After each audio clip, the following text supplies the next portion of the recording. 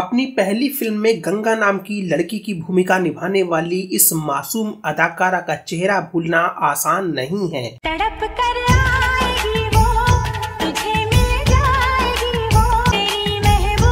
ये अदाकारा न सिर्फ़ अपनी चुलबुली अदाकारी के लिए बल्कि अपनी भोली भाली और मासूम खूबसूरती के लिए भी फ़ेमस थी।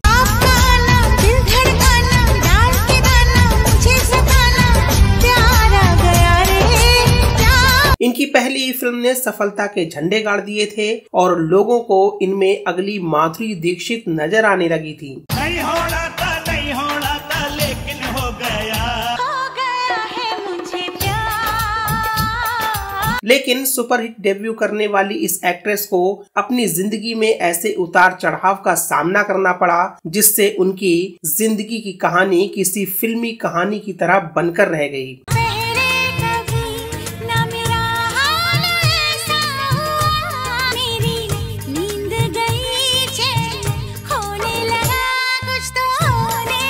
उन्हें लॉन्च करने वाले फ़िल्म मेकर ने ही साजिश करके उन्हें कोर्ट में घसीट लिया जिससे इन्हें काम मिलना बंद हो गया। अक्सर इस दुनिया में अनजाने मिलते हैं अनजानी राहों में मिलके खो जाते हैं। उससे बाहर निकली तो ऐसे जानलेवा एक्सीडेंट से सामना हुआ जिसमें उनके चेहरे से सड़सठ कांच के टुकड़े निकाले गए थे जिसके साथ ये रिलेशन में रही उसने किसी और के लिए इन्हें धोखा दे दिया।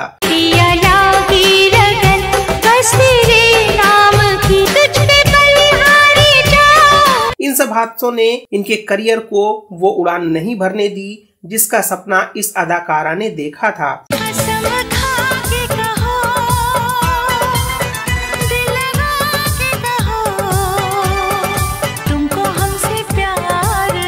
हम बात कर रहे हैं फ़िल्म परदेश से अपना फिल्मी सफ़र शुरू करने वाली एक्ट्रेस महिमा चौधरी की जिन्होंने अपनी ज़िंदगी में बहुत सी मुश्किलों का सामना किया और उससे उबर कर बाहर भी आ गईं। लेकिन अपने स्टारडम को बरकरार नहीं रख पाई दिल धड़के दिल धड़के दिल धक धक धड़के जालिमा मेरे बाएँ आँख भी फड़के इस वीडियो में हम जानेंगे महिमा चौधरी के बारे में और भी बहुत कुछ। बस आप बने रहिए फ़िल्म टेनमेंट के साथ, और अगर आपने अभी तक हमारे यूट्यूब चैनल को सब्सक्राइब और फेसबुक पेज को फॉलो नहीं किया है तो ज़रूर कर लें। नमस्कार दोस्तों, मैं हूँ आपका दोस्त आलोक कुमार शुक्ला।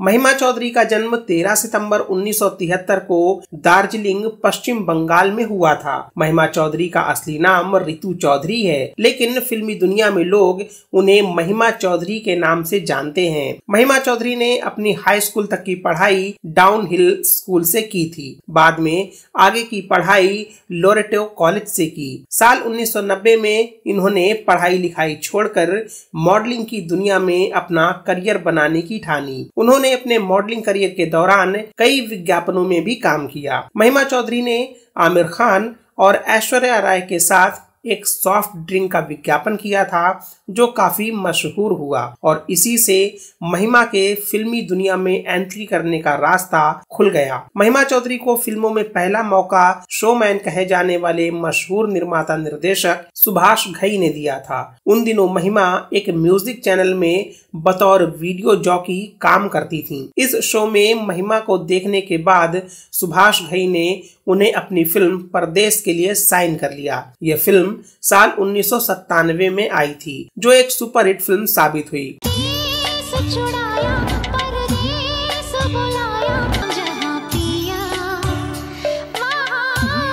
अपनी पहली फ़िल्म में महिमा चौधरी की जोड़ी शाहरुख खान के साथ देखने को मिली थी। इस फ़िल्म के लिए उन्हें फ़िल्म फेयर में सर्वश्रेष्ठ अपकमिंग स्टार के अवार्ड से भी नवाजा गया था। उसी साल उन्हें लक्स द्वारा face of the year award से भी सम्मानित किया गया। पहली फ़िल्म हिट होने के बाद महिमा चौधरी काफ़ी लोकप्रिय हो गईं। उसके बाद उन्हें अपने फिल्मी सफ़र में कई सारे चैलेंजिंग रोल मिले, जिसे महिमा चौधरी ने बखूबी निभाया और बॉलीवुड की कई शानदार फ़िल्मों में कई सुपरस्टार्स के साथ काम किया। मोहब्बत। दिल का सुकून।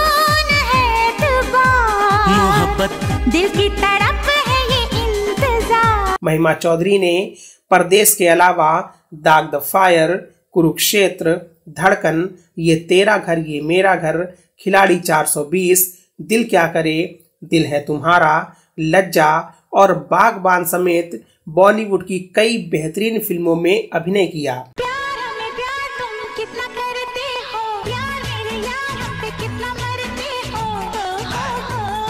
लेकिन जब महिमा को फिल्मी दुनिया में आए, महज दो साल ही हुए थे, तभी उनके साथ ऐसी घटना हो गई, जिसने उनकी पूरी ज़िंदगी बदल कर रख दी। दरअसल उन दिनों महिमा जाने माने निर्माता निर्देशक प्रकाश झा के साथ अजय देवगन और काजोल की 1999 में आई होम प्रोडक्शन फ़िल्म दिल क्या करे में काम कर रही थी। उस दौरान वो बेंगलुरु में थी एक दिन जब वो शूट पर जा रही थी, तभी एक ट्रक ने उनकी कार को टक्कर मार दी। टक्कर इतनी ज़बरदस्त थी कि कार के शीशे टूटकर उनके चेहरे में धस गए। उस वक्त महिमा की हालत ऐसी थी कि वो शायद ही बच सके। डॉक्टर ने उनकी सर्जरी करके कांच के सड़सठ टुकड़े उनके चेहरे से निकाले थे। इस घटना की वजह से महिमा को फ़िल्मों से दूर रहना पड़ा। जिस वक्त उनके साथ ये हादसा हुआ, तब महिमा के पास बॉलीवुड की कई बड़ी फ़िल्में थीं। उनका चेहरा बिगड़ जाने के कारण सभी ने अपने कदम पीछे कर लिए और उनकी जगह दूसरी एक्ट्रेसेस को साइन कर लिया गया। महिमा के लिए शायद अब इंडस्ट्री में कुछ बचा नहीं था, इसलिए उन्होंने फ़िल्मों से दूरी बनाना ही बेहतर समझा। महिमा चौधरी मशहूर टेनिस खिलाड़ी लिएंडर पेस के साथ रिलेशनशिप में भी रह चुकी हैं। दोनों ने काफ़ी वक्त एक दूसरे को डेट किया। मीडिया में दोनों के खूब चर्चे भी हुए।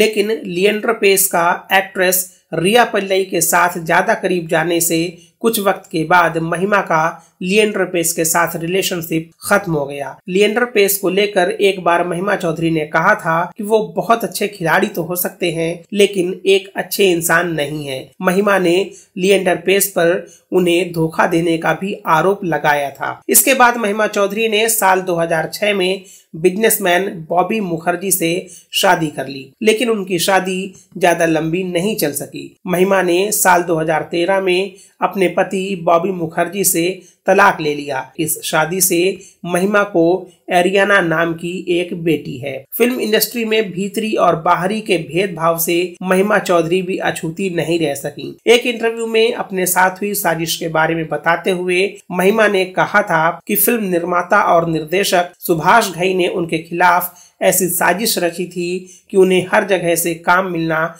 बंद करवा दिया था। इंटरव्यू में महिमा ने कहा था कि अगर आप 1998 और 1999 की एक ट्रेड मैगजीन देखेंगे तो आपको उसमें एक विज्ञापन मिलेगा। उस विज्ञापन में लिखा था कि अगर कोई भी महिमा के साथ काम करना चाहता है तो उसे पहले सुभाष घई से बात करनी होगी। नहीं तो ये उनके साथ किए गए कॉन्ट्रैक्ट का उल्लंघन होगा।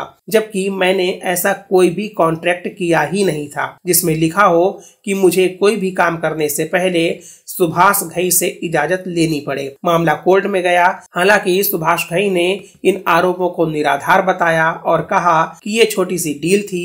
हम अभी भी अच्छे दोस्त हैं। जीवन के तमाम उतार चढ़ावों से जूझने वाली महिमा चौधरी की ज़िंदगी में एक बार फिर तूफ़ान आया, जब उन्हें पता चला कि उन्हें कैंसर हो गया है। वो ब्रेस्ट कैंसर से जूझ रही हैं। इस खबर ने फैंस को हैरान कर दिया था। ब्रेस्ट कैंसर से पीड़ित महिमा चौधरी का पूरा लुक पूरी तरह बदल गया था। महिमा की तस्वीर देखकर उन्हें पहचान पाना भी मुश्किल हो रहा था।